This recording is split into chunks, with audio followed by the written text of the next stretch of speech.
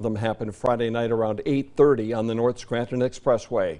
The driver lost control of her SUV near the Main Avenue exit, overturned, and slammed into a light post. The victim, a 35-year-old Taylor woman, died at the scene. Her identity has not yet been released.